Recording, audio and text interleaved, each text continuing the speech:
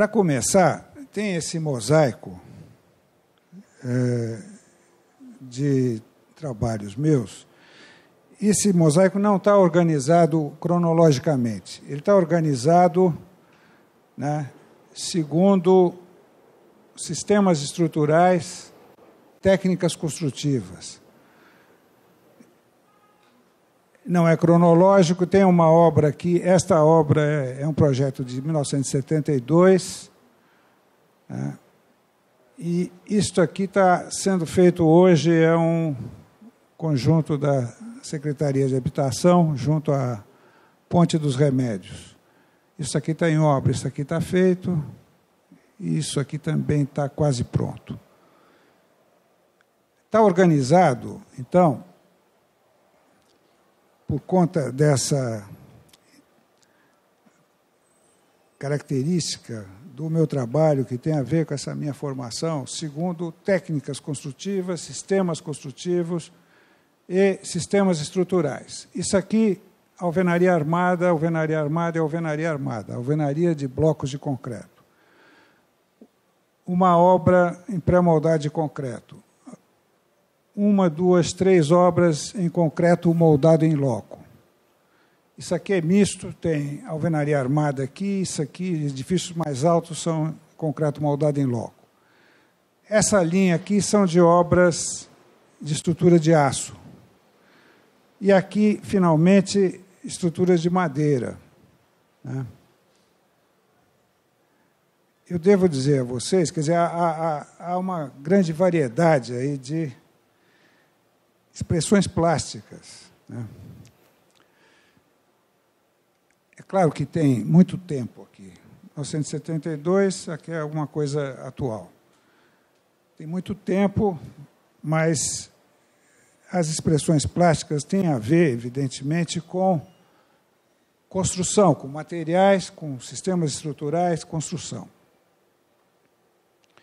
Eu, assim que começo a estudar um projeto, né, a partir da, da encomenda do programa. Eu procuro sempre considerar as condicionantes, isso qualquer arquiteto faz. Condicionantes para o projeto de topografia, de solo, de clima, paisagem. Né? E na análise dessas condicionantes, em conjunto com a análise do programa, eu procuro identificar. Tem outras questões ainda. Qualidade da mão de obra do local onde vai ser feita a obra. Facilidade ou dificuldade para a instalação do canteiro de obras. É, do transporte e fornecimento de materiais. Tudo isso, analisado junto, eu procuro identificar qual é a melhor estratégia para a realização da obra. Né? Evidente que estratégia para a realização da obra envolve material, envolve técnica construtiva e provavelmente sistema estrutural. Essa estratégia de obra vem a ser, para mim, uma espécie de bússola né, que vai orientar o desenvolvimento do projeto. Né. Quer dizer, em vez de adotar um partido, não vou dizer que às vezes eu adoto partido, está né? Tá na cara, uma, uma forma intuída, um espaço intuído, às vezes resolvido, é, traduzido num corte, vem a ser uma coisa determinante. Mas, em geral, isso é precedido por essa análise e a identificação de uma estratégia, da melhor estratégia para a realização da obra. Né? E lembro, lembro nesse momento uma frase boa do Frank Lloyd Wright. Cada material tem sua própria gramática. Né? É, a partir dessa identificação né, da melhor estratégia, de um material predominante ou de um conjunto de materiais, de um sistema estrutural, um sistema construtivo, né, o, o projeto se desenvolve e ele vai assumir, né, nesse processo, uma expressão própria, frequentemente nova, frequentemente nova, porque as condicionantes mudam, as expressões plásticas finais vêm a ser consequência de um processo é, que eu pretendo sempre o mais rigoroso possível. Né? Daí essa variedade toda. Né? E a organização, quer dizer, eu vou apresentar segundo sistemas construtivos e estruturais. Eu devo dizer para vocês, isso é uma coisa que veio da FAO também, especialmente veio, eu acho que vem do, do Artigas, né? É, de ter estudado demais os projetos do Artigas, né? especialmente é, a precisão do discurso do Artigas, né, eu devo dizer para vocês que, para mim, o meu discurso né, arquitetônico, discurso, ele se estabelece, essa é uma forma de dizer, né, um, um, quem está escrevendo um texto, um, um escritor, estabelece o seu discurso através do texto de uma certa forma, tem uma forma de estabelecer o discurso. Para mim, e isso acho que vem do Artigas, eu estabeleço o meu discurso através da estrutura. Da estrutura. Quando o projeto chega num certo ponto dessa análise, desse processo, onde a estrutura entra no foco, é onde se estabelece o, o discurso arquitetônico. Dizer, isso é uma, é uma coisa minha, de alguns colegas da minha geração, de alguns arquitetos paulistas, né? isso não é exclusivo. E, e para deixar claro, isso aqui é um curso de pós-graduação da Escola da Cidade, então eu estou querendo deixar claro isso. Quer dizer, isso vem da FAO, né? Desse espírito da FAO que eu cursei. Né? Bom, então, vamos em frente. Para começar, essa obra, isso é 1972, 3, 1973. É um conjunto de casas de alvenaria armada, de blocos de concreto, conjunto de casas bastante econômicas, feitas para vender, né? empreendimento comercial. Eu aqui usei bloco de concreto, e, e o que caracteriza mais essa obra é o fato dele ser ela ser produzida através de componentes industrializados como esse bloco verga, bloco em U, lajota, né? laje pré-fabricada, laje pré ou laje mista de vigota de concreto e, e bloco cerâmico. Isso aqui, por exemplo, é uma viga com 40 centímetros de altura, daqui até aqui, uma viga como essa que vocês estão vendo aqui. Ela vence vãos de até 4 metros, com carga de parede em cima, como essa que vocês estão vendo aqui, e ela é composta por essas peças industrializadas é, é assentada sobre um pontalete horizontal aqui, com poucos escoramentos. Assenta-se essa fiada de bloco em U, uma linha. Isso aqui é assentado em seguida, né? e a, a concretagem acaba dando essa viga toda aqui ligada na laje, né? solidária à laje, e com isso a gente tem um vão de fachada como esse que vocês estão vendo aqui, ou dessa marquise, ou um vão central como esse aqui também, só com uma peça em um embaixo. Isso, então, é uma técnica né, que eu adotei aqui para fazer uma coisa econômica. O, o, o conjunto tem, tem quatro casas ao todo, né? São quatro casas e, e foi comprada madeira para fazer escoramento de uma das casas. E, e esse como essa madeira não entra em contato com o concreto, ela é, pode ser reaproveitada sucessivamente nas outras casas, de, de uma laje para a laje de cima, de uma forma muito econômica. Da mesma técnica, alvenaria armada, essa é uma experiência um pouquinho depois, 1975, essa fazenda em Cabreúva.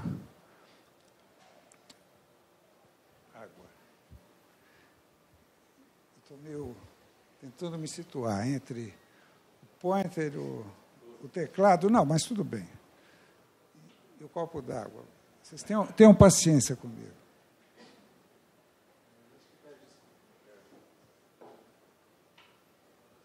Então, essa. Hã? Não, imagina. Então, essa casa aqui, ela tem uma situação muito especial. É um sítio muito bonito. Aqui está a Serra do Japi, que vocês conhecem. Para lá está Jundiaí e para cá Itu. É um lugar é, muito aberto com uma paisagem no horizonte aqui para frente e paisagem muito bonita em toda a volta. A implantação dessa casa nesse lugar teve a ver com as vistas. Né? Entretanto, é um lugar que tem um vento constante que vem do sul, que vem da Serra do Japi.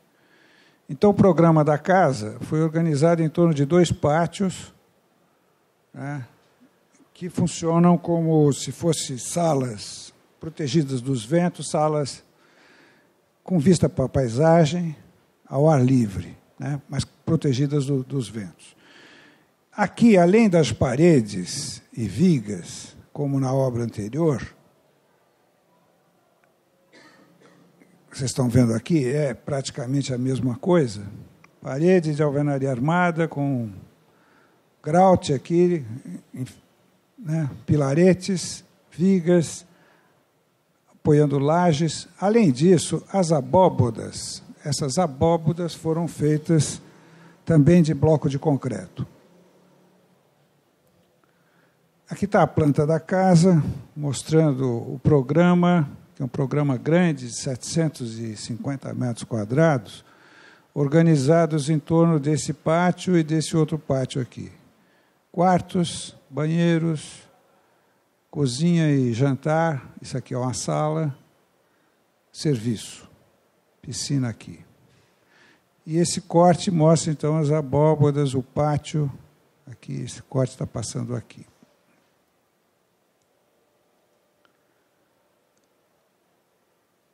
Ah, aqui tem um pormenor da pormenor da viga apoiando duas abóbodas. Né? Então vocês estão vendo o mesmo sistema da outra, bloco em verga, bloco em U, lajota, lajota, e aqui bloco de 7 centímetros de espessura. Acaba dando uma viga aqui de quase 60 centímetros. Né? Que dá margem a vencer vãos de até 6 metros e fazer uns balanços. Balanços. Deixa eu ver como esse que vocês estão vendo aqui, né, esses balanços de dois metros, esse balanço aqui. E vão livres de seis metros, como esses aqui. Não. É. Só no fundo. Bom, aqui tem uma série de imagens da, da obra. As alvenarias subiram até o nível de. Esse nível aqui, dessa bloco verga, tem em cima de alvenaria tem uma um bloco verga uma cinta de amarração. E esse sistema aqui é um sistema de cambota de madeira, de tábuas cortadas né, nessa forma circular, que assentam então essas réguas a cada 20 centímetros. Tem uma cambota igual a essa, a 3 metros aqui à esquerda, isso aqui, com X, todo xizado e tal, funciona como um monobloco. Esse monobloco é assentado, então, em, em guias, junto às paredes. Tem cunhas aqui para nivelamento disso, E vocês estão vendo aqui o assentamento desses blocos, né? bloco de 20 centímetros, então uma régua a cada 20. É um bloco alternado com uma lajota, que na verdade é um bloco partido ao meio. Né? É uma casquinha. O que dá uma certa enrijecida nessa abóbora, ela fica meio nervurada. Tem uns ferrinhos que passam aqui, né, nessas, em cima das lajotas, desse bloco partido. E vocês estão vendo aqui a, a, armadura sendo feita e feito o capeamento disso, curado o concreto, essa cunha aqui era simplesmente bater a, o martelo numa cunha dessa, ela destacava, esse monobloco todo descia, né?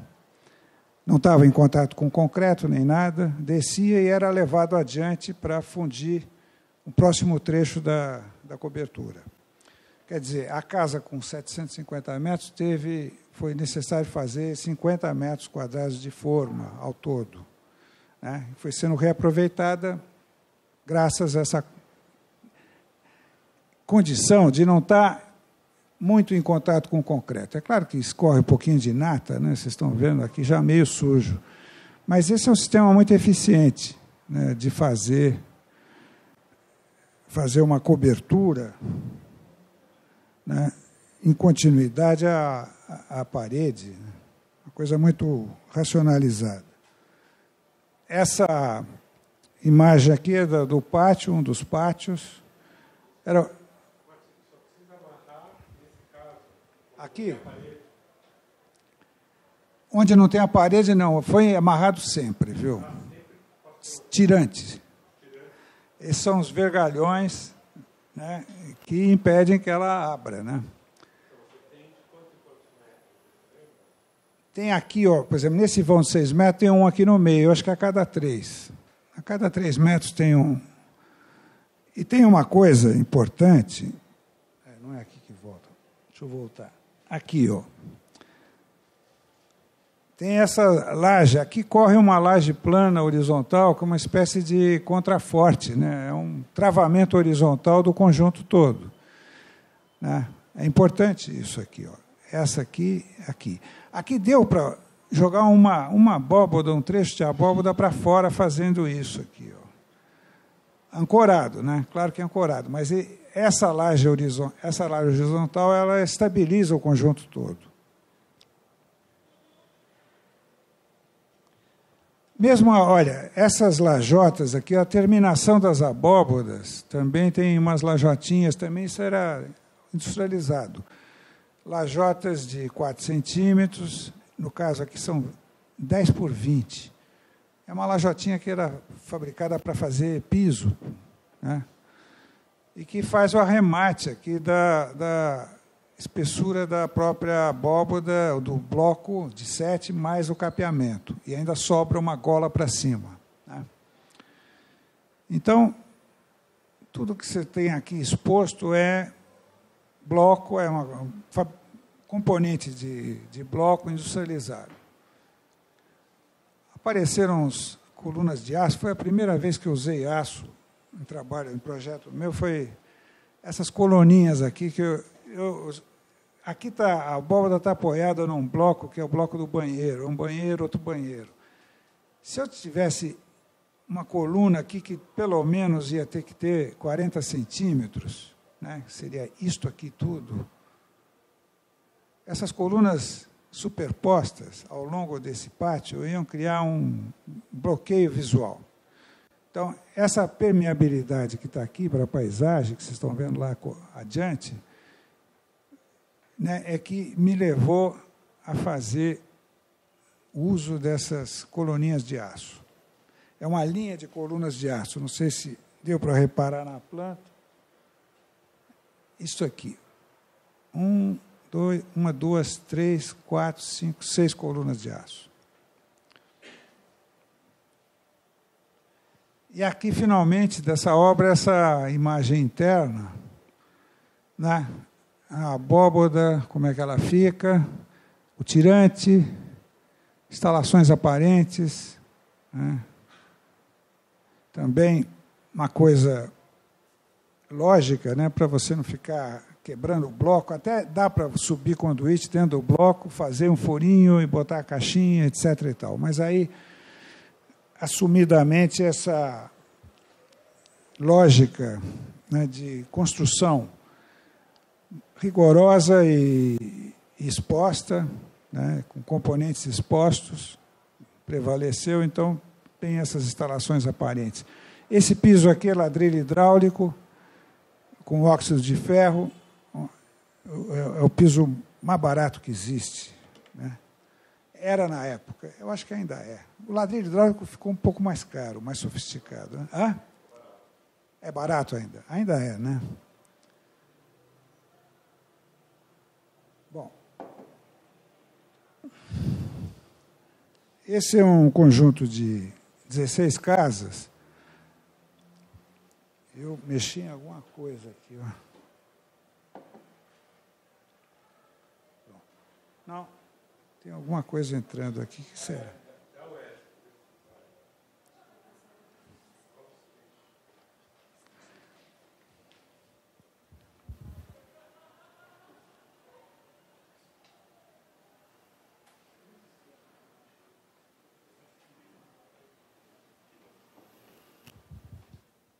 Esse Vila Butantã, isso é um projeto que ficou pronto mais recente, 2005.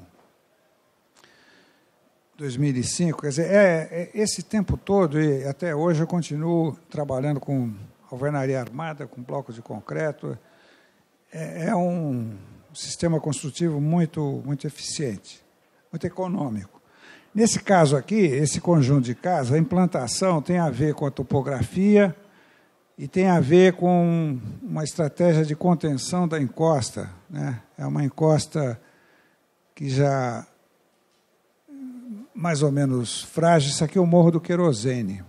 Né? Entre a direita aqui está Pouso.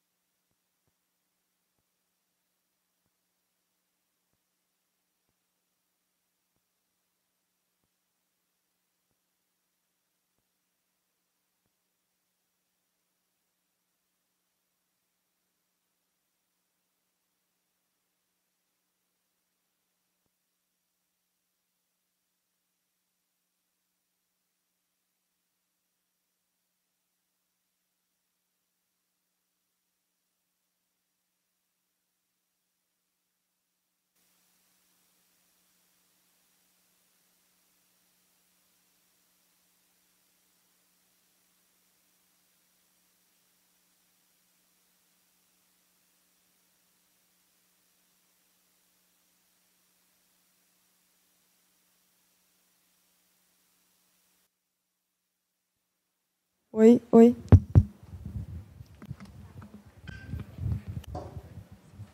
Tá.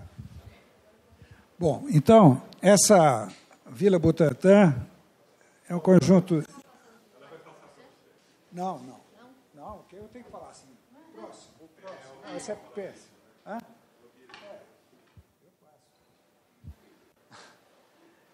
Então, aqui isso aqui tem a ver com topografia e tem a ver com contenção da encosta, eu vou explicar depois. E orientação, essas casas estão orientadas leste-oeste, né? é o Morro do Querosene.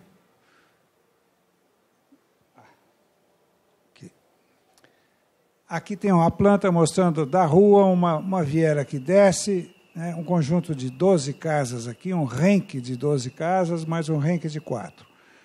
O rank superior é esse, esse corte está passando aqui. Né?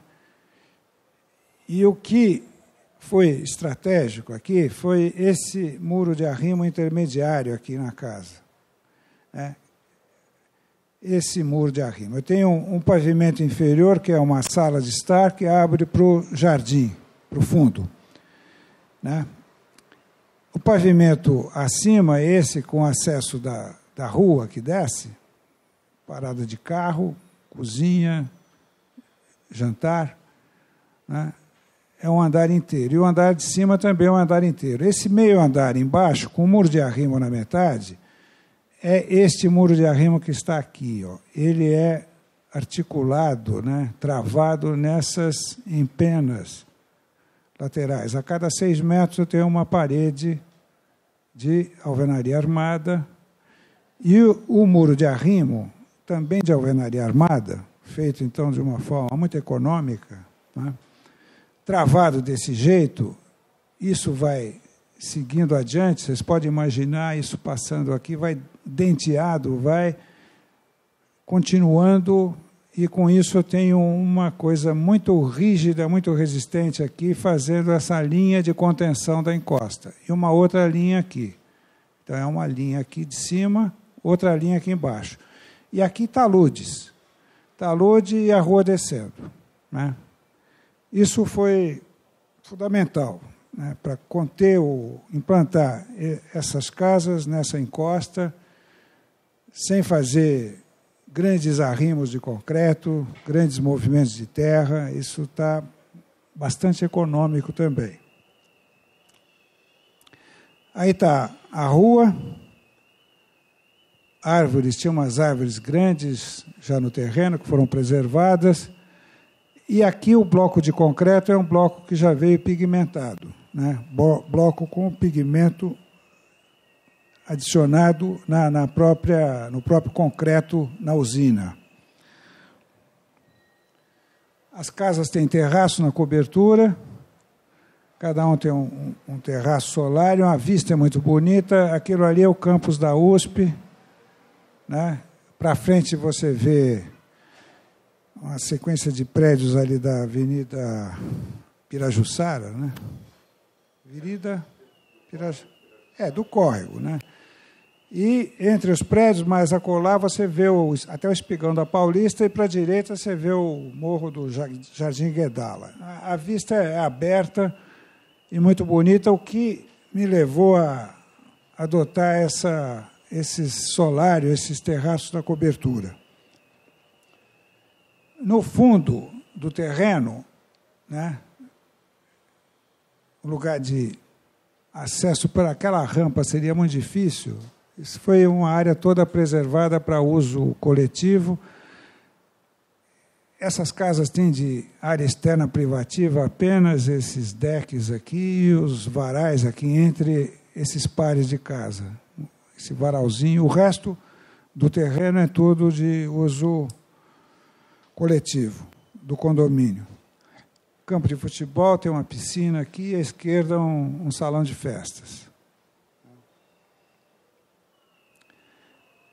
Aqui uma vista do fundo da casa, onde aparece já uma experiência feita aqui nessa, nessa obra, que foi essas lajes mistas de madeira e concreto. Vigas de madeira, lajes de concreto, trabalhando de uma forma conjugada para vencer um vão livre de seis metros. Seis metros com parede dividindo dormitórios aqui em cima, às vezes. Né? É isso que está aqui. Tem umas fotos da obra em cima. São vigas a cada 50 centímetros, vigas de 6 por, por 20. Vence os 6 metros de vão, apoiado nas alvenarias armadas, que tinham chegado nesse nível aí. Né? Você tem uma cinta tem uma cinta aqui passando dentro do bloco verga. Sobre essa cinta, apoiadas essas peças, vão livre de seis metros, sem escoramento nenhum. Isso aqui vem a forma apoiada em pequenos. Aqui vem um sarrafo que vocês estão vendo aqui, apoiado nos ferrinhos passantes aqui nas vigas. Essas vigas já vieram furadas da fábrica eu fiz, deixa só fazer um parênteses, eu fiz essa obra em sociedade, um empreendimento que eu fiz em sociedade com o Hélio Olga. Hélio Olga é um engenheiro fabricante de estruturas de madeira. Né? fizemos eh, esse empreendimento juntos e muita coisa tem a ver da, da, da, da do fato do Hélio ter a fábrica de estruturas de madeira né, e ter essa experiência toda. Então, essas vigas vinham da fábrica já com os furinhos aqui né, e com pregos colocados. Primeiro, dessa forma aqui, ó, espaçamento variável, em função do cisalhamento da flexão. Né? Para fazer a vinculação da madeira com a lajinha de concreto, é uma lajinha de concreto de 4 centímetros, que vocês estão vendo em cima aí da, das vigas de madeira. Para fazer a vinculação, esses pregos, né, é, o cisalhamento da flexão, vocês sabem que é menor no meio da viga. Né? Vocês já viram, seguramente o professor de estrutura mostrou uma viga sobre a outra, apertou, uma escorrega sobre a outra, não é? Se você liga as duas, elas trabalham juntas, elas têm uma resistência muito maior, né? Porque você está impedindo o escorregamento delas. É a mesma coisa aqui, o escorregamento que haveria entre a laje de concreto e as vigas de madeira. Então, a vinculação delas é fundamental. Esse isolamento é maior na extremidade. A viga escorrega mais na ponta do que no meio. No meio ela nem mexe. Fizemos isso, o Hélio calculou, né? mas isso fizemos até as duas primeiras casas desse jeito. É uma besteira, porque dá um trabalho desgraçado de você fazer esses, botar esses pregos de espaçamento variável. Pega o menor espaçamento e repete, pronto, gasta um pouco mais de prego. Né? E foi o que vocês estão vendo lá em cima, é o prego igualmente espaçado no espaçamento menor, está vendo? Agora, os furinhos na, na viga transversais passavam os ferrinhos, apoia essa forma, depois de fundido o concreto, capeado, curou o concreto, tudo, bate o martelinho, tira o ferrinho, a forma desce e é reaproveitada teve um reaproveitamento grande não tem escoramento, não tem cibramento. É uma, uma laje que foi testada. Né? É, nós, a ideia original era fazer pré-moldado, um pré-moldado em pi, uma peça em pi de um metro. Né? Pegava duas vigas de madeira e uma laje com um metro de largura e seis de comprimento né, fazia isso pré-moldado. O Hélio fez no, na fábrica dele uma peça dessa, foi levada para o departamento de estruturas da, da Poli, ensaiado, teste de deformação, ruptura, até ruptura, né, para estabelecer os critérios de cálculo. Né. O pessoal da Poli ficou tão entusiasmado da divisão de madeira, que pediu licença e patenteou esse sistema. Está patenteado pela divisão de madeiras da, da Politécnica. E deu margem, né, quer dizer, esse ensaio, quer dizer, o, o trabalho, eu esqueci de falar no começo, mas falo agora. Uma coisa que vem da FAO, também, da minha formação da FAO, era a ideia da pesquisa em projeto. Né? O, o projeto como pesquisa, pesquisa em projeto. Né? coisa que eu ouvia na minha época de aluno na FAO. Todo projeto pode vir a ser uma pesquisa, pode ser uma pesquisa, todo projeto. Né? Ele depende de pesquisas que a gente faz, de materiais, de solo, de clima, etc., pesquisas para o projeto. Mas pesquisa em projeto é alguma coisa que o projeto, no, no seu desenvolvimento, às vezes ele exige, ele demanda que você faça um ensaio de alguma coisa nova, descubra uma coisa nova. Né? Então, nas obras anteriores de alvenaria armada, tinham um lado de pesquisa. Essa coisa de fazer abóboda de bloco de concreto, ninguém tinha feito ainda. Foi, fizemos pela primeira vez. Né? Isso aqui foi levado para a Poli, né? deu num, foi pesquisado, foi ensaiado, né? E deu margem do que eu tive conhecimento, pessoas, alunos da Poli, da pós-graduação, que vieram falar comigo, dois trabalhos de pós-graduação, um mestrado que foi mestrado que foi sobre acústica, eles fizeram ensaios de acústica, de vibração dessas lajes, transmissão de, de ruído. A, o, conjunto estava ainda em obra e o pessoal lá da Poli instalou um laboratório num dos sobrados né, tinha lá computadores e sensores, né, e o pessoal fez ensaios, e, e o resultado foi muito bom. Né. O que eu recebi esse, esse mestrado, me passaram uma cópia, o resultado foi muito bom. Teve uma, uma performance muito interessante quanto à transmissão de ruído, de vibração, essa laje mista.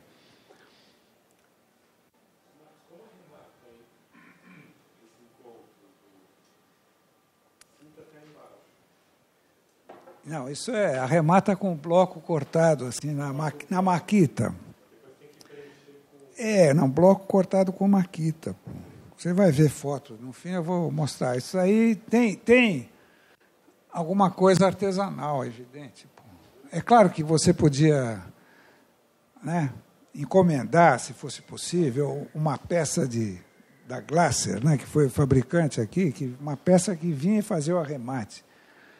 Se a gente tivesse um volume maior de obra, talvez justificava fazer o, molde, né?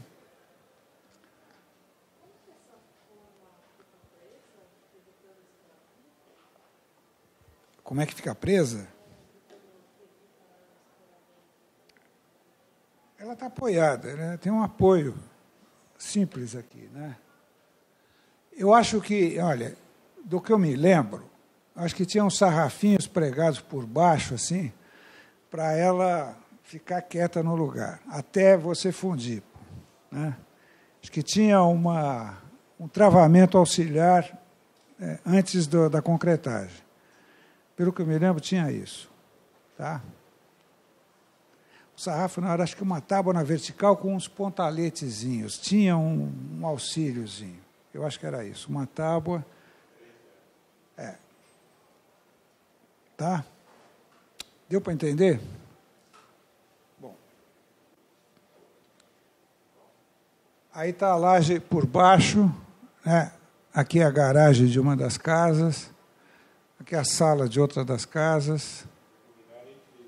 Hã? É, a luminária saiu de graça, né, quase, porque é um ponto de uma caixinha na laje, com soquete, um vidro jateado e dois sarrafinhos com vidro apoiado e pronto. É. É, essas são coisas que a gente acaba fazendo, esses, né, dentro desse processo, coisas de design incorporados aí, no caso, a, a tirando partido da estrutura, né, e, e dá uma coisa muito econômica e simpática. Isso é meio japonês, né? Ah? O que você está olhando, Álvaro, assim? Você contou 13 blocos? 2,60. Hã? 2,60, pronto, é. Hã? O Álvaro. Ah lá, é, aqui, aqui você vê, ó, olha aqui, ó, olha o artesanal aqui, ó. Ó, ainda manter com esse cuidado aqui de manter a junta alinhada, tá vendo? Hã?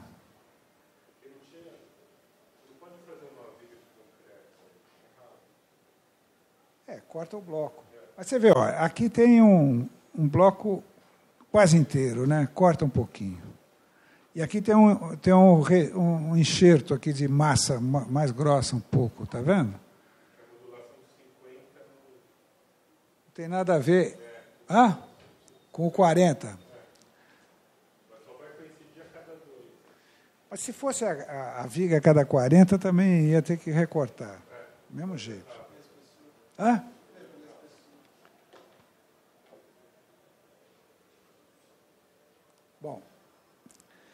Então, a próxima. A escola pré-moldade de concreto, isso aqui. Ah, isso aqui é 1900 e, 2005. 2005. A FDE, o órgão que faz as escolas estaduais no estado de São Paulo, adotou um sistema construtivo em pré-moldade de concreto, fez um primeiro conjunto de projetos, encomendou a quatro escritórios de arquitetura e dois, um escritório de engenharia só, né, o Bentes, Rui Bentes. É, um escritório de cálculo, Rui Bentes, quatro escritórios, um, um primeiro conjunto de quatro escolas em pré-moldade de concreto, para depois fazer uma série enorme, até hoje está fazendo escolas nesse sistema pré-moldade de concreto. As quatro primeiras escolas, uma delas foi o Fernando que projetou, Una Arquitetos, o André Weiner e o Gui Pauliello, professores aqui da escola, também fizeram uma escola, o Andrade Moretim fizeram outra, e MMBB fizeram outra. Bom, esse sistema construtivo né, de pilares, vigas pré-moldadas de concreto e lajes também pré-moldadas, né,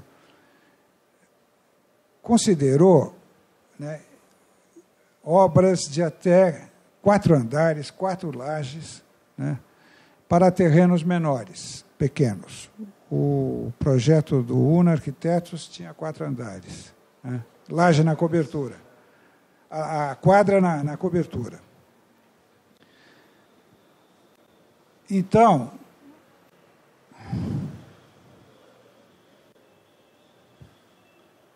a minha escola era uma escola em Mogi das Cruzes, no meio de um conjunto habitacional do CDHU, a periferia leste de Mogi das Cruzes. É uma área industrial com com habitação de interesse social, esse conjunto do CDHU que vocês estão vendo nessa imagem em cima aí do, do Google,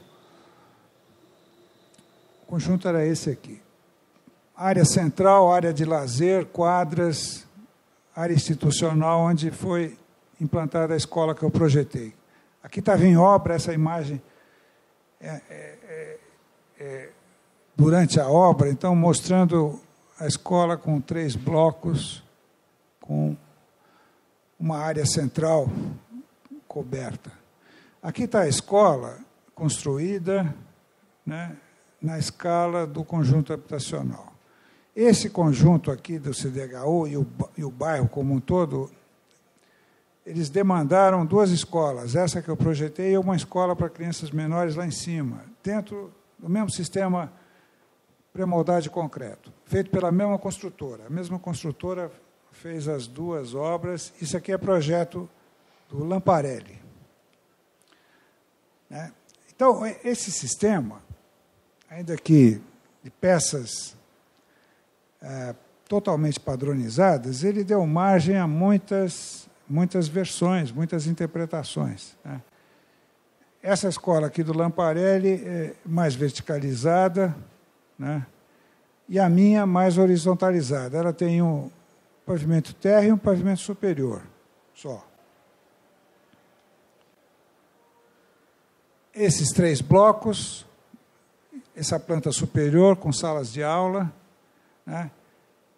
blocos que são articulados aqui por escadarias apoiadas em alvenaria armada a planta do térreo mostra também esses blocos contendo aqui biblioteca, aqui a área de cantina, grêmio, banheiros, vestiário e, e cantina, administração.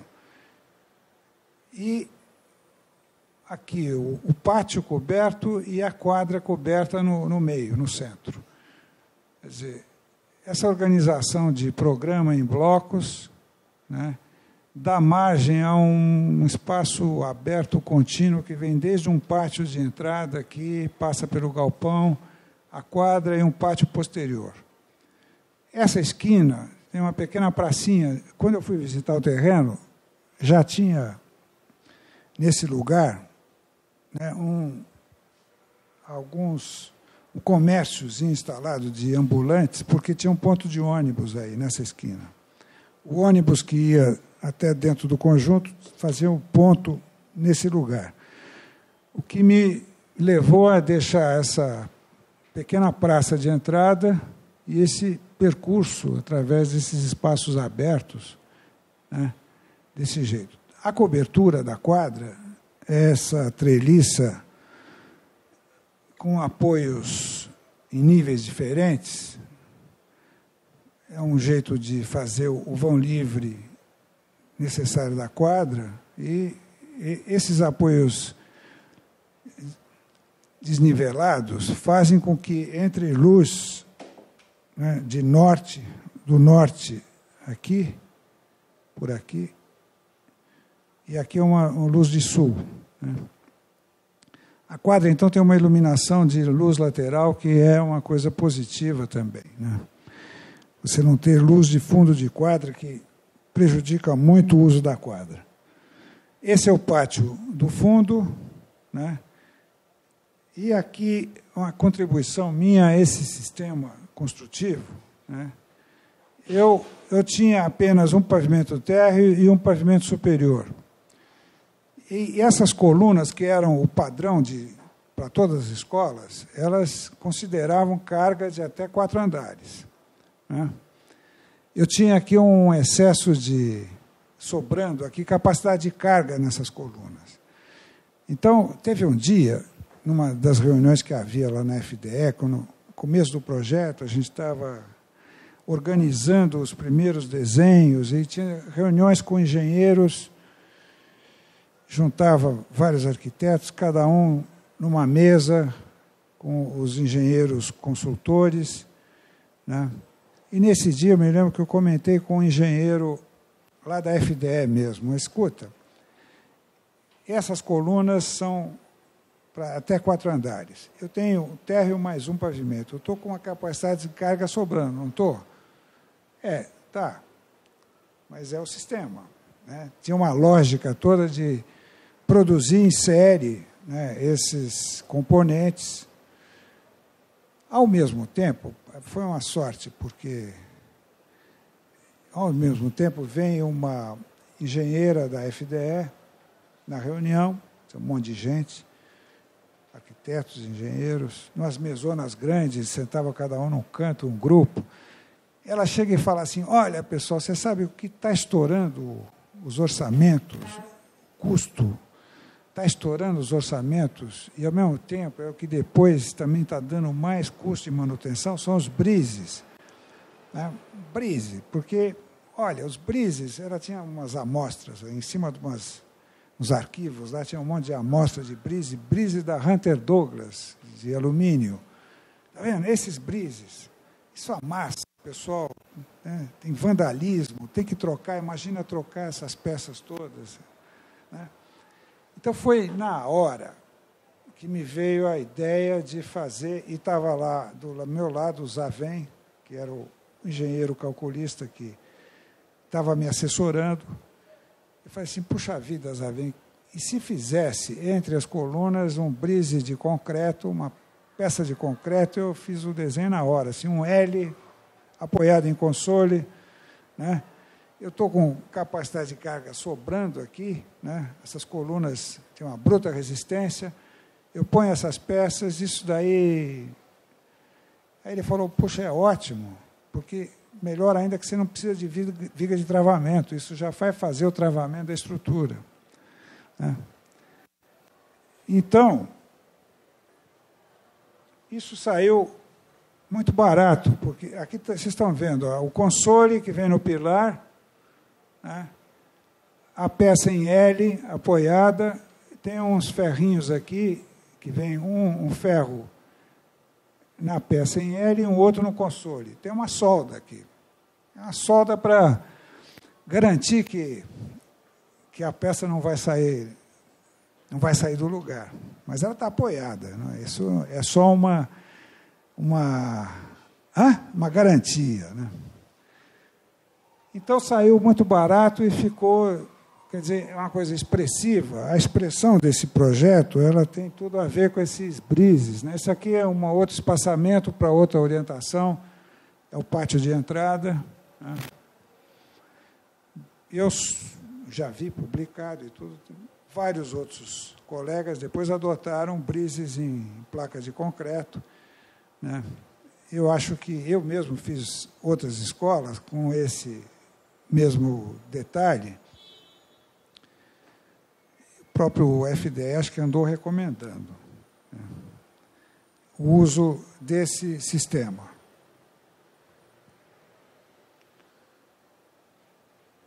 A, o, o pátio coberto com a quadra tem uma pequena arquibancada que vocês estão vendo aqui. Isso aqui é o, uma torre padronizada de elevador para deficientes. Tem um hallzinho aqui com esse vitrô e aqui o, o elevador com as vigas de travamento. Isso aqui tinha um fabricante que ganha, pegou um contrato de fornecer essas torres para escolas novas e escolas existentes. E aí foi um período curto onde foi obrigatório usar esse componente. Vocês usaram? Não. Sorte. Porque é esquisito. Isso vinha tudo, tinha que fazer desse jeito, com esse vitrô, com essas vigas. Né? Eu tinha feito originalmente uma, uma torre só de bloco de concreto, simples, mais, mais limpa. Dava para resolver o elevador e tudo, mas tinha esse fornecedor e tinha que adotar isso aí. Isso aqui também é um, um padrão da FDE, essa caixilharia basculante, econômica, dizem eles que é, é o mais econômico para se quebra vidro, troca vidro, é vidrinho pequeno. Né? Todas as escolas usavam e usam ainda esse, esse componente. A quadra, então, com a luz lateral difusa pelos brises, é uma, uma coisa confortável. Eu usei essas cores aí, cores primárias, mais o verde, com um sentido didático até, né? E o azul no fundo da quadra para realçar a trave e a tabela. Dá um contraste.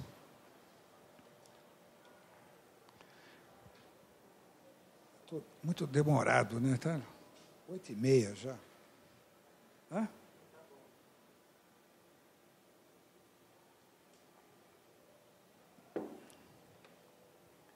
Bom, a primeira obra, essa é uma obra em alvenaria, em bloco de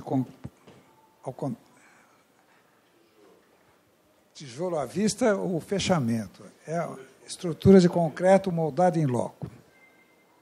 Né? É uma casa relativamente pequena, 150 metros. É, 1985, isso aqui. Ela abre para um pátio nordeste, continuação da sala, né? uma orientação boa, e tem um, o que caracteriza mais é, além da estrutura regular, é um vão de seis metros aqui, esse fechamento em elementos vazados, industrializados e com vidro colocado direto no elemento vazado. Vidro com massa de vidraceiro. Tem um pequeno rebaixo por dentro, colocar o vidro, botar a massa e com isso você faz panos de vidro grandes, como esses aqui, de uma forma bastante econômica e com a vantagem né, de, para essa orientação, por exemplo, né, esse sol que está entrando aqui, nordeste. Né, no, no verão, esses 10 centímetros né, de largura aqui, onde o vidro fica recuado, no verão tem sombra projetada. No inverno entra o sol. Funciona como um brise.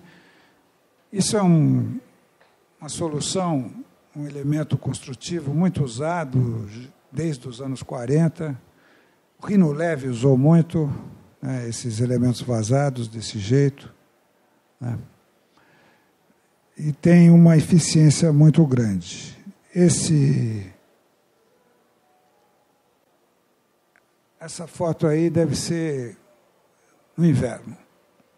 A sala tem um pé direito duplo, instalações aparentes, uma laje né, com um elemento cerâmico, são, é uma nervurada de caixão perdido alojada dentro de elementos cerâmicos. Eu, eu vou fazer um croquis aqui para explicar.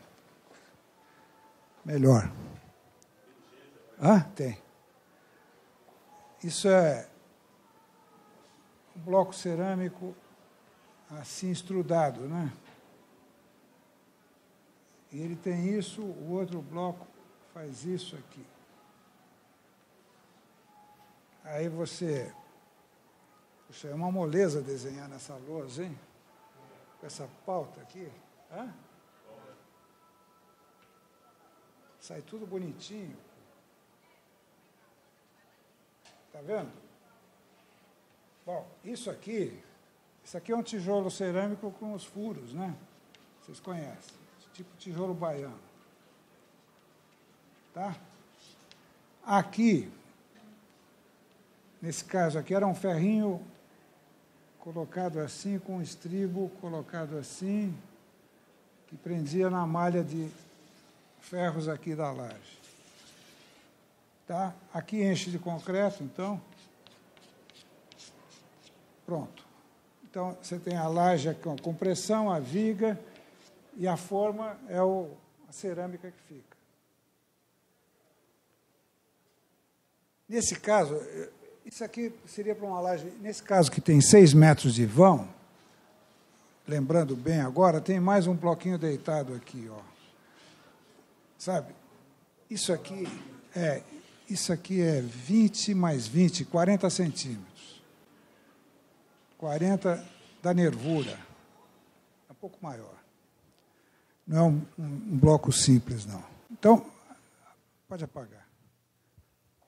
A aparência é essa daí, que é muito bonito, uma coisa de cerâmica. Quem usou muito esse tipo de coisa, a primeira vez que eu vi isso, arquiteto Carlos Milan, arquiteto muito importante, casa do Roberto Milan, do irmão dele. A laje era feita assim, uma obra de 1961. Impressionante. Me impressionou muito quando era aluno da FAO, gostava muito daquela casa, fui algumas vezes lá. Tinha uma luz muito bonita, uma luz. Acaba dando uma luz quente, gostosa para casa. Né? É isso que está aqui. Instalações aparentes aqui, muito bem feitas, de cobre, tudo muito rigoroso. É aquilo que, entre nós, né, na FAO, né, arquitetura de São Paulo nos anos 60, 70, se dizia a procura da verdade construtiva, né? todas as, as coisas visíveis e o trabalho dos operários visível também, né? com todas as suas eventuais imperfeições. Aí muito bem feito. Aqui dá para ver melhor a laje, né? Vocês estão vendo? Isso aqui é laje estrudada, né? Dá para ver a, as marcas da extrusão na cerâmica.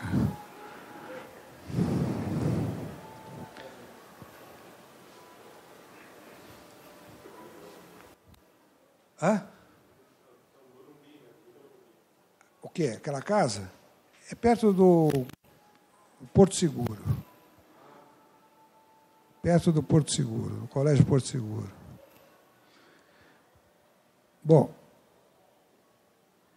aqui a, a obra de concreto moldado em loco, que, a meu ver, tem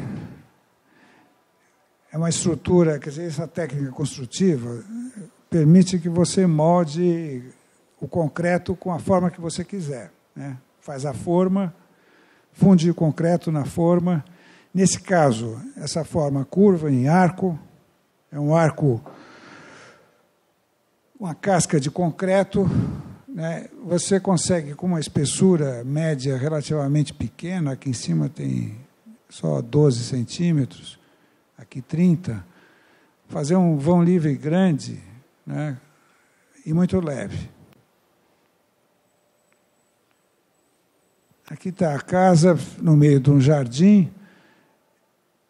Foi a, a, a, certeza de que se iria ter um jardim expressivo como esse, porque o programa era relativamente pequeno em relação ao terreno, um terreno de 2 mil metros quadrados. O programa não chegava a 400. A certeza que ia dar para fazer um jardim expressivo levou à adoção desse desenho, dessa dessa casca de concreto, né? essa ideia do uma coisa leve, permeável, apoiada em quatro pontos nas extremidades, no terreno, e com vista em toda a volta. Dá para ver aqui com a casca já desformada, né? que você tem uma permeabilidade muito grande com uma estrutura como essa. A casca foi complementada com essa laje transversal né, e patamares no terreno. Um, dois, três patamares no terreno. O terreno tinha uma, uma declividade suave nessa diagonal aqui. Né. Lá era o ponto mais alto, dá para ver, né, no muro de divisa do, do fundo, né, do vizinho, e o ponto mais baixo aqui abaixo. Né esse ponto aqui é aquele vértice lá. A casca tem, como vocês estão vendo aqui, tirantes, né? para esse empuxo lateral, e tirantes aqui também, porque isso aqui vem a ser um pórtico inclinado. Né? Também tem esforço horizontal na, na fundação.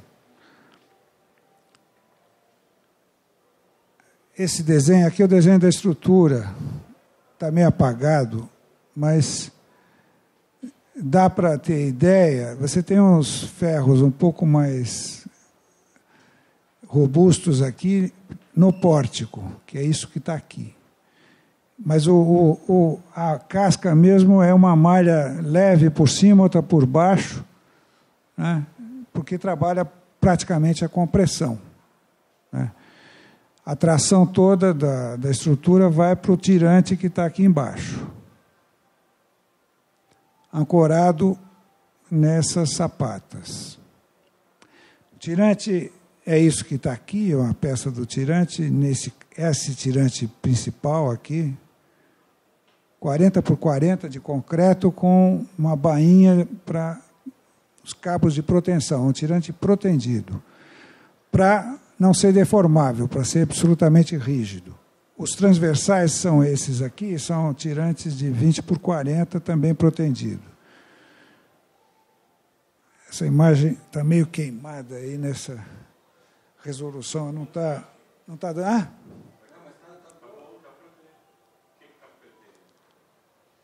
Perde detalhes.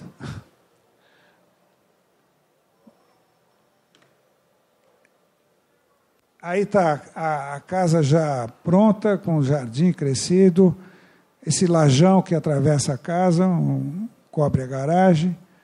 À direita, o meio nível rebaixado, 1,30m abaixo, né, com piscina, uh, terraço e sala. A casca, o grande lajão, a casca, aqui de novo instalações aparentes, o que a gente fazia sempre, muito bem feitas aqui.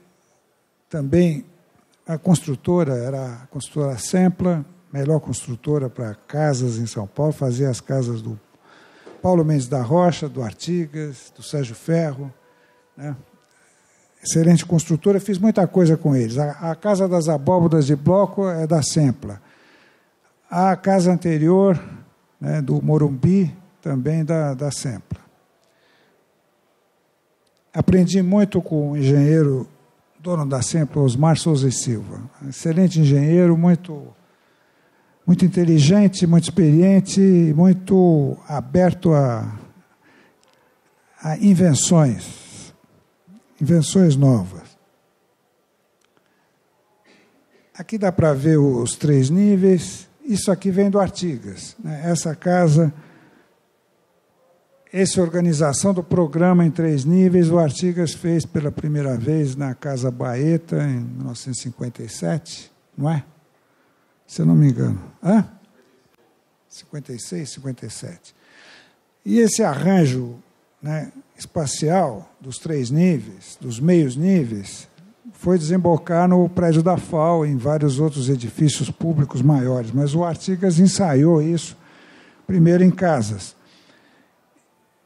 é uma organização espacial muito interessante. Isso aqui é dormitórios, serviço e garagem aqui embaixo, sala de jantar. Estar é esse nível aqui. Aqui tem uma coisa que também vem do Artigas, essas torres hidráulicas aqui. Torres que contém, que está aqui. Ó. São torres com banheiro no nível superior, banheiro embaixo, caixa d'água aqui em cima, ainda internas, abaixo da cobertura. E, e, com isso, quer dizer, você concentra aqui os espaços obrigatoriamente fechados. Lavatório, por exemplo, veio para fora, veio para essa circulação aqui, essa varanda interna que liga os quartos. A planta, então, é uma planta bastante aberta, né? espaço bastante fluido, com um fechamento só de caixilhos, né, dando a volta aqui. O que sobra das torres é fechado com caixilho. Né.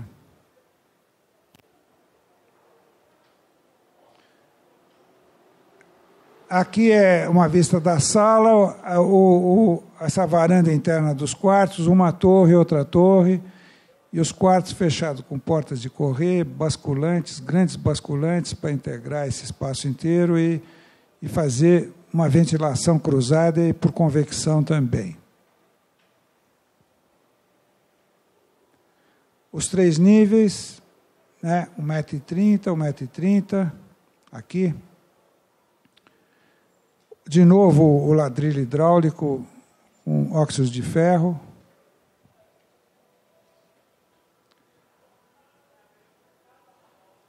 A torre. Aqui, essa caixilharia,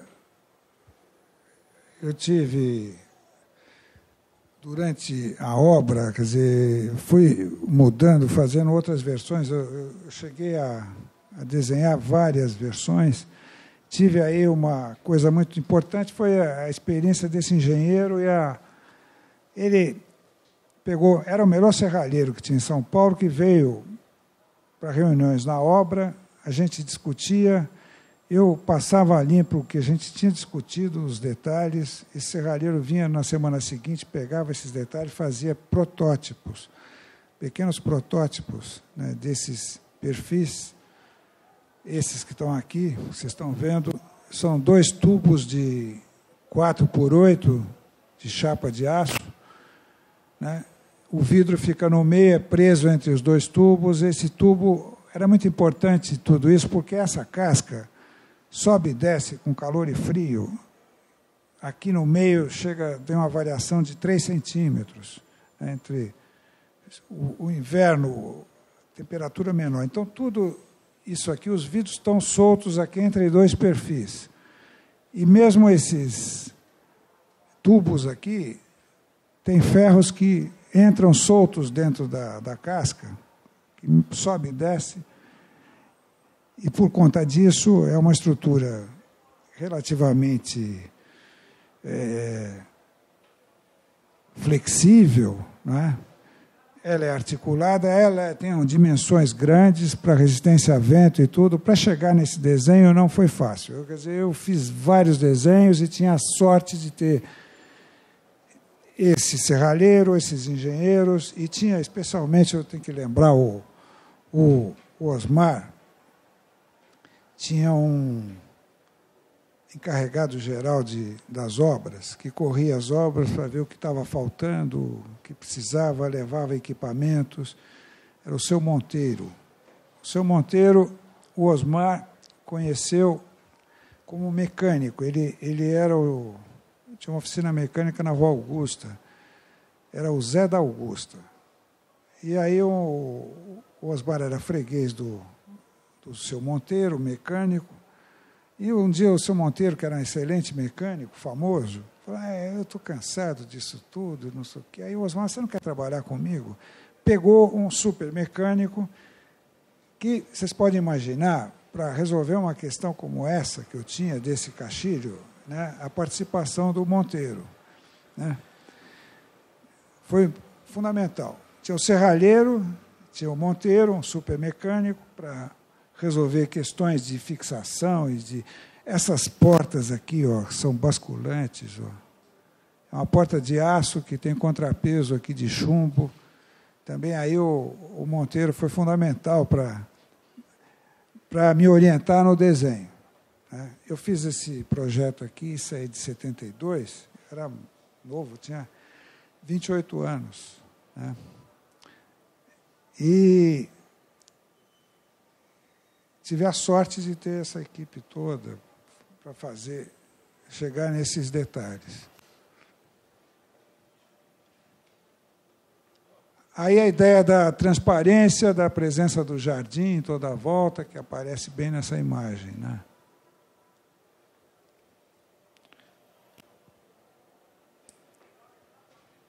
Essa é uma primeira obra com estrutura de aço.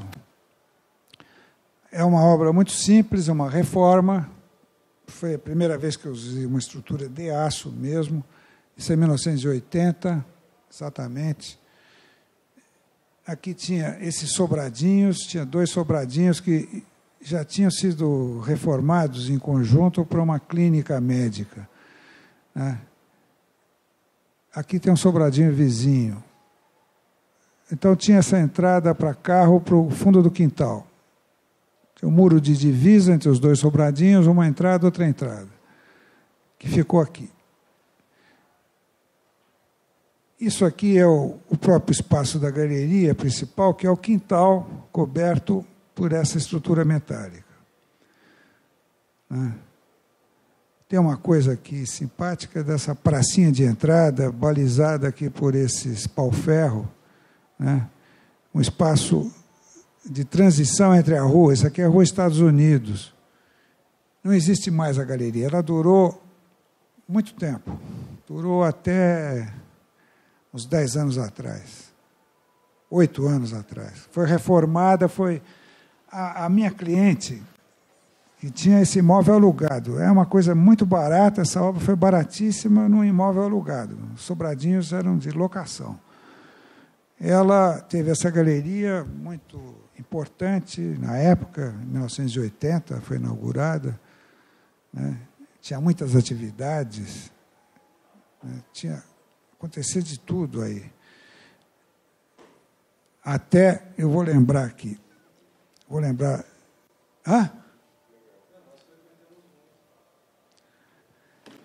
Galeria São Paulo. Ela, esse, teve um dia que eu estava passando a noite, vi luzes acesas, assim, num dia de semana.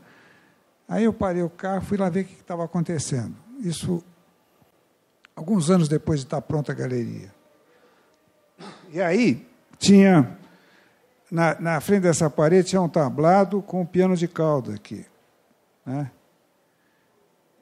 Eu entrei e perguntei, o que, que vai haver aqui? E o pessoal estava ensaiando iluminação, tinha técnicos de, com refletores. Ah, vai ser um concerto do Arthur Moreira Lima amanhã. Aí acontecia de tudo na galeria. Aí foi muito simpático, eu estava num mezanino, deixa eu passar aqui. Aqui. Aqui tinha refletores com luz, outros aqui. Eu estava aqui conversando com os técnicos, entrou o Arthur Moreira Lima aqui, chegou no piano, né? naquela parede, o piano estava lá no canto, aqui. Aí ele chegou, tocou uma nota assim, e falou, está muito duro, está duro. Tá. Fez uma cara. Aí eu falei assim, oi, espera aí. E aqui, junto de onde eu estava, aqui, esses.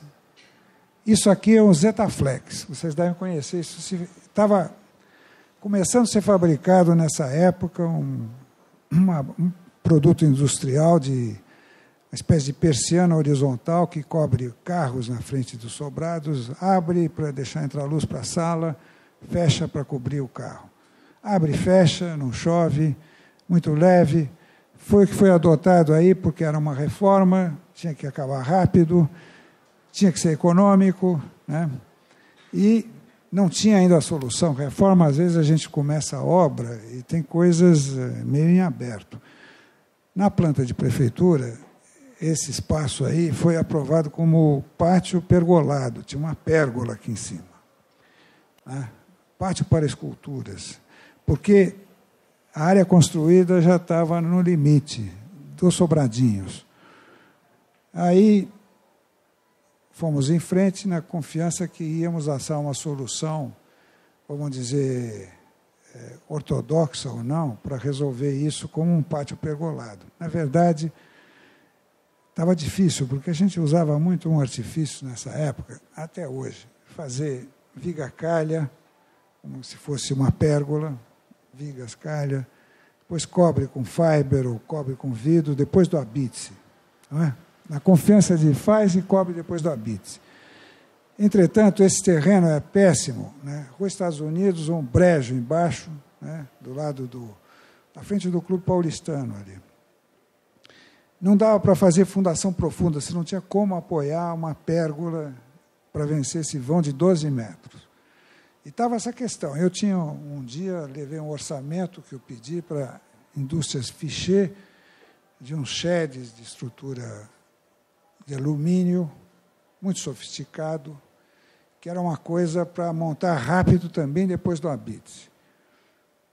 Mas só que era caríssimo. E a minha cliente, quando vê esse orçamento, estourou. Falou assim, mas você não dá, pô. Eu, eu, eu não tenho dinheiro para fazer isso. Imóvel alugado, eu não vou botar essa grana aqui. Eu tenho que inaugurar daqui três meses, dois meses eu tenho que inaugurar. Né? E aí ela era essa minha cliente, a Regina Boni, mulher do Boni, famoso Boni da Globo, mãe do Boninho, hoje mais famoso, Boninho. É esse que faz o BBB, né? Não é isso? Bom, ela era muito nervosa, estourada, uma ótima pessoa, muito inteligente, mas tinha essa coisa desbocada. Ela, no meio da obra, rolava uma reunião toda semana que ela ia Aqui no meio tinha uma mesinha de madeira que a gente abria desenho, abria orçamento. No meio. A obra subindo aqui, bloco de concreto subindo nessas paredes. Ela explode no meio da, da conversa, assim, pô, mas eu estou te pagando para você resolver meus problemas, você me traz um problema desse. Pô, né? Desse jeito, alto. Todo mundo parou, a obra toda parou. O mestre da obra, ele estava encostado aqui, o Roberto, de uma certa distância, né, prudente, da, da encrenca. Aí, essas saídas, da, nessa época eu fumava, fumei por 25 anos, eu fumava. Então, espera aí, aquele momento que você puxa um cigarro do maço, sem isqueiro. Eu vou lá, Roberto, saí do meio aqui e fui até o Roberto. Roberto, me dá fogo, Roberto. Aí o Roberto, acendendo o meu cigarro, falou assim: doutor, me desculpe se eu falar uma besteira, mas será que não dá para resolver com esse tal de Zetaflex que estão anunciando na televisão? Pô? Puta, Roberto, mas que genial, pô, matou a charada. E virei e voltei. Regina, está resolvendo a questão. Roberto lembrou aqui, Zetaflex, assim, assim, assim, estão anunciando na televisão, etc. e tal. Né? Baratíssimo, deve ser baratíssimo, que todo mundo está pondo aí na frente da, do sobrado para cobrir carro. E assim foi que o Zetaflex apareceu nessa obra. Saiu realmente muito barato, foi muito rápido. Né? Eu, eu, conto essas coisas porque eu conto essas coisas porque tudo na, no processo de, de obra, né? quando você está envolvido com obra e o seu projeto tem um compromisso com a obra, você está necessariamente tem que prestar atenção em coisas desse tipo. E às vezes, quantas vezes, né, eu acabei incorporando sugestões de operários, de engenheiros e até de clientes também. Né? Nesse caso foi fundamental. Eu conto essa história com o maior prazer. Né? Então, voltando ao, ao, dia lá do à noite que estava lá o Arthur Moreira Lima, foi lá fazer um ensaio, né? Ver como é que estava o som, se estava em ordem, iluminação, testar muito duro. Aí eu fui aqui e falei, mas pera lá, abri um pouco aqui, toca de novo. Ah, melhorou, abri um pouco. E com isso veio do lado de cá, que tinha outro, está vendo? Foi regulando, afinando o espaço, deixando ele menos duro, deixando passar o som, absorver mais, refletir. Acabou dando né, uma um arranjo para o Arthur Moreira Lima, que foi isso aqui na frente, em cima do, do piano, praticamente fechado, e os de trás abertos. Quer dizer, acabou com a simetria, com reverberação, e refletiu, fez uma espécie de concha acústica. Né? E foi aos poucos, o Arthur tocando lá e tal, não, volta um pouco, vai, não sei o quê. Foi uma afinação do espaço. Foi muito especial. Quer dizer, essa galeria teve, teve essa história toda, foi importante. Né? Foi uma obra que foi muito publicada assim na, na imprensa, né, em jornais, revista, revista Veja, porque a, é claro que a Regina conseguia todo tipo de publicação. E eu fiquei famoso por causa dessa obra aí, viu, Fernando? Essa foi uma obra que eu fiquei conhecido. Uma mera reforma, simplesinha, de estrutura metálica, por conta dessas questões aí de ser uma reforma. Deixa eu voltar um pouco. Tem essa viga atirantada aqui, para apoiar o Zetaflex. Isso veio depois.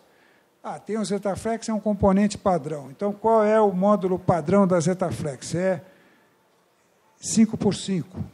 Né? Então, C5 tem aqui um, um domo corrido de fiber. Para apoiar isso, essa viga atirantada, uma coluna aqui e um caixilho muito simples, também um caixilho de ferro. Aqui, os dois sobrados tinham quatro dormitórios, né? dois de cada que ficaram integrados nesse mezanino.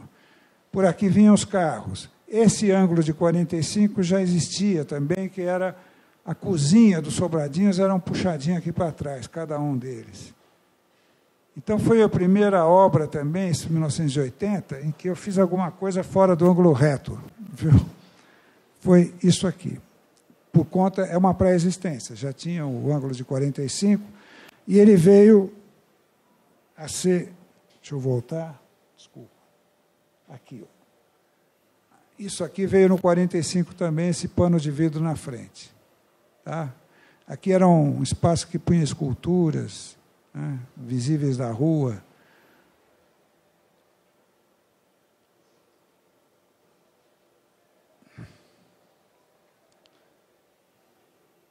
Aí tem uma casa de estrutura de aço, uma casa Alphaville, isso é 1981. É um, um era o Alphaville 5, que era uma coisa nova, absolutamente escampado, não tinha casa nenhuma, foi a primeira ou segunda casa desse Alphaville. Muito vento, uma paisagem bonita para as costas de, da foto aqui, Isso aqui, essa planta está aqui mostrando essa ala que está aqui, essa parede de tijolo é essa. Vento sul de lá, vista bonita para cá, um pátio, então dá um pátio protegido do vento, olhando para a vista. E o terreno caía, vocês estão vendo aqui, acabou dando essa esse pilotia aqui no lado de cá. Isso é consequência da implantação. As estruturas, aqui tem pedra, arrimo de pedra, que é isso que está aqui. Né? Aqui. Alvenaria de tijolo, isso é alvenaria de tijolo portante, são duas paredes com pilaretes dentro, os pilaretes de concreto, apoiando lajes pré-fabricadas.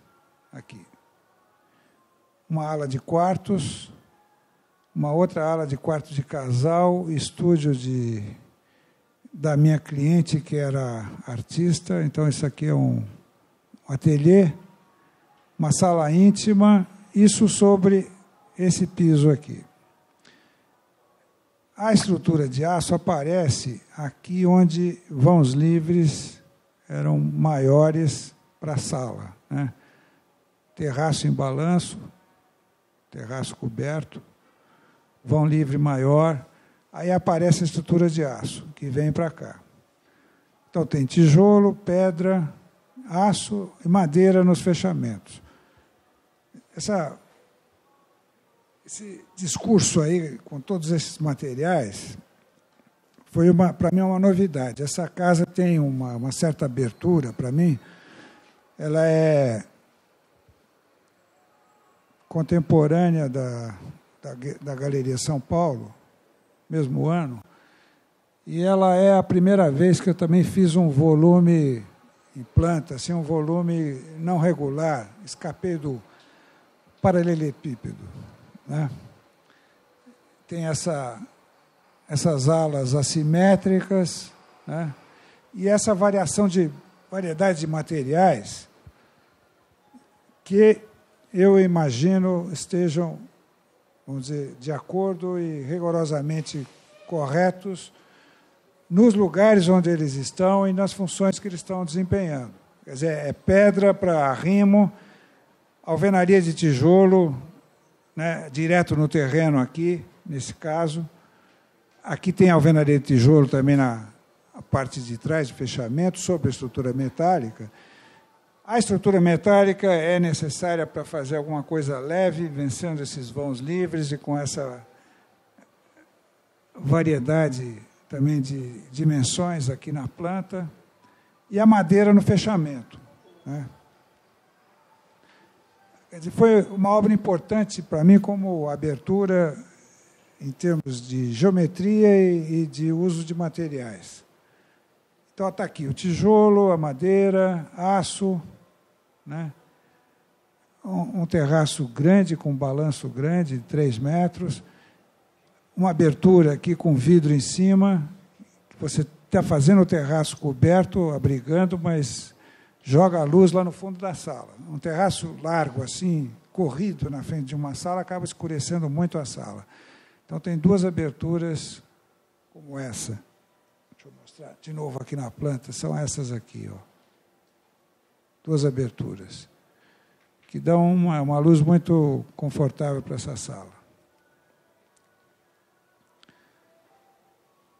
E na rua, para a rua tem esses volumes mais fechados, que é para o sul, esse aqui já vem a cozinha para cá, a entrada da rua, o carro para de ré aqui, eventualmente, para descarregar direto na, nessa dispensa, na cozinha, e por aqui se entra já para aquele piso interno mais alto, ou se sobe para um, uma sala de jogos na cobertura. Isso para as crianças com acesso direto da, da turma, né? sem passar por dentro da casa, sem incomodar a vida da casa. E a última obra de estrutura de aço é essa, é uma agência Banespa, em Santo Amaro. É, é um terreno pequeno, de esquina, terreno de 500 metros quadrados. É, o Banespa, Banco do Estado de São Paulo, nessa época, tinha uma agência só em Santo Amaro. Né? E, e todo o pagamento de funcionários públicos era feito através do Banespa. Na época de os dias de pagamento, dia 5 de cada mês, é, eu fiquei sabendo que a, a fila do, da agência Banespa dava a volta no quarteirão. Né? De tanta gente. Então, essa agência aqui foi. Me pediram para fazer uma agência muito simples, num terreno pequeno que eles tinham, que não sabiam ainda muito bem o que fazer uma, uma coisa que fosse eventualmente provisória, para ser desmontada mais adiante, mas para atender os funcionários públicos. É uma agência exclusiva de funcionários públicos. Foi o que me pediram. Por um preço, então, o menor possível e o mais rápido possível, porque tinha uma situação de emergência. Né? Então, essa estrutura de aço aqui, esses são pórticos que estão a cada sete metros, né? vencendo um vão transversal de 14 metros. É um espaço aberto grande, uma agência bancária, com uma área de serviços aqui nesse módulo fechado. Né? Aqui está uma foto da obra mostrando o pórtico com 14 metros de vão. Né? Esse pórtico que aparece aqui em detalhe era um, um, uma peça oca de chapa de 3 milímetros de espessura. Né? Essa chapa dobrada aqui de 3 milímetros com essas soldas. Né? Então, uma coisa muito leve. Fazia a coluna e a viga venceu o vão de 14 metros. Né? Tinha só que ter esse cuidado né, dessas alvenarias de bloco aqui, ter essa articulação, porque aço e, e alvenaria de bloco trabalha diferente. Você junta uma com a outra, você tem fissura entre as duas obrigatoriamente, variação de temperatura e movimentação. Então, isso que está aqui é uma peça em U soldada né, na peça principal, que vocês estão vendo aqui, e a cada fiada entrava um ferrinho em U, assim dobrado, e isso, esse vazio aqui foi sendo, na medida que ia subindo, preenchido com uma argamassa de cimento e areia, né? amarrada então nesses ferros. Isso veio a ser então vinculado à parede. A fissura que obrigatoriamente ocorre, ela dá a volta aqui em volta. Né? Isso fica solto, é como se fosse uma articulação. A fissura acontece aqui, não passa água, porque ela dá a volta toda, não passa vento. Né? Eu ainda fiz esse, essa saliência, essa moldura na argamassa aqui para uma chuva de vento meio na diagonal, não ter uma pressão aqui sobre a água para forçar a água a passar por essa fissura. Né? Então, esse é um detalhe importante que veio a fazer todas as alvenarias nesses encontros. Tem nessa obra aqui uma coisa que já tinha aparecido na Galeria São Paulo. A primeira vez que eu fiz isso, eu nesses anos 80, começo dos anos 80, deixa eu voltar aqui. Essa parede, parede principal aqui da Galeria São Paulo, é um retângulo áureo né, sessão áurea. Eu fiz essa primeira vez foi aqui. E depois eu fiz muitos projetos com, com essa regra, com essa ideia da sessão áurea, que é uma coisa que os antigos, os clássicos, usavam muito. Até o Le Corbusier né, andou fazendo muita coisa com sessão áurea fachadas ele fazia uma composição com seção áurea que era aquele espécie de ajuste fino assim na, na, na proporção. Eu estava aqui com a planta que eu tinha, dava um espaçamento, modulação da estrutura, né? e a altura, o pé direito da, da próprio espaço da agência, acaba estava perto da seção hora. Então, é o caso de você pegar e fazer e ajustar. A seção áurea, vocês sabem que é isso aqui. Você a, a relação entre os lados do, do retângulo, né?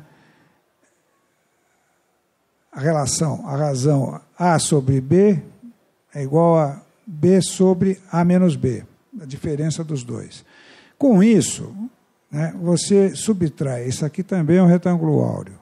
Você subtrai um quadrado, você tem um outro retângulo áureo na vertical. Subtrai um outro quadrado e tem um outro retângulo áureo. Então, esse desenho da fachada, essa fenestração foi feita segundo essa série de retângulos áureos, né? o que dá uma coisa harmônica. Eu acho. é. Eu andei fazendo muita coisa com, com isso, com sessão áurea, nesses anos 80. Tá? Aqui aparece, é uma coisa muito simples essa construção, vocês estão vendo. Um basculante simples, só com uma tela repuxada, né, de proteção solar. E aqui é aquela moldura de que eu acabei fazendo na argamassa para proteger a junta. Aqui não precisava fazer, mas aí o quadrado inteiro está realçado, ressaltado com isso. Era, isso aí era 1983, 82, 83. É uma época onde o que estava na moda era o pós-moderno. Estava entrando na moda, durou dos anos 80 inteiros né, até um pouco dos anos 90. Essa moldura de alvenaria aqui, de argamassa, que tem essa função de proteção e tudo, eu acabei fazendo porque foi um consultor que me indicou essa hipótese. Olha, para você fazer essa junta, você tem que proteger a junta com chuva de vento. Se você puser uma moldura, um perfil que conduza a água para baixo, né? O, o, a ideia do, da moldura, do ornamento, né, que foi abolido na arquitetura moderna, o Adolf Loos falou que o ornamento é um pecado. Né? Então, a, as superfícies né, de paramentos com alvenaria e concreto, etc., mas basicamente revestidas, com aberturas sem nenhuma moldura. Essas molduras que, na antiguidade, sempre compareciam junto às janelas, a portas, com desenhos é, simbólicos, né, de acordo com estilos. Essas molduras não era só para embelezar, pô, mas era para conduzir a água. A água não ir direto no, no, nos caixilhos, né? Você minimizava muito a manutenção de caixilho, conduzindo a água através de uma moldura dessas, vamos dizer, art déco, dando voltas, a água descia, não ia para o caixilho. Isso foi abolido na arquitetura moderna. O pós-moderno veio a ser uma crítica e reação a coisas desse gênero na arquitetura moderna, certas normas muito rígidas, certos dogmas, ornamento é um pecado, e saiu a fazer ornamento. Né? Rigorosamente, o, pós-moderno é cheio de ornamento. Né? Tem um exemplo aqui do lado, né? esse edifício do Banespa, na Praça da República, na frente do Caetano de Campos, onde você tem uma coluna que, de repente, morre no meio de um pano de vidro com um capitel. Não tem? Ornamento só. Eu nesse momento, eu acho que o máximo que eu fiz de pós-moderno é isso aqui, essa moldura. foi o, o, o maior pós-moderno que eu fiz, o maior pormenor pós-moderno que eu fiz foi essa moldurinha. Mas não houvesse, vejam vocês como é que são as coisas, né? não houvesse esse movimento que tinha uma atitude crítica em relação à arquitetura moderna, estava na moda. Não houvesse isso, eu não teria me permitido fazer isso aqui. Né? É o máximo de pós-moderno que eu fiz. Além do, dessa composição, eu acho que essa ideia de composição com sessão áurea também estava tava no ar. Né? Pouca gente usou sessão áurea nessa época, mas essa ideia de voltar a uma coisa de composição clássica né, é uma coisa que estava no ar. Para mim, essa obra, com uma fachada meio simétrica, vocês estão vendo aí? Simétrica, né? E, e, a fachada de lá, que não tem nenhuma foto, vocês podem intuir com isso aqui, ó, tá vendo? Também era simétrica, tinha uma, uma janela corrida aqui, uma ventilação embaixo aqui com elemento vazado de concreto, mas tinha uma simetria ainda mais com esse, essas duas águas aqui. Né? Essa fachada é mais pós-moderna ainda veio a ser. Não dá para ver aqui. Pronto. Eu termino com essa coisa meio, com uma certa autocrítica né, no ar, para depois mostrar rapidamente, só para provocar vocês. Isso eu vou mostrar a partir daí. São estruturas de madeira industrializadas que para mim foram uma coisa muito importante. Foi uma série de experiências que eu fiz no fim dos anos 80, anos 90. Já faz mais de 10 anos que eu não faço nada de madeira. Né? Mas, tudo bem.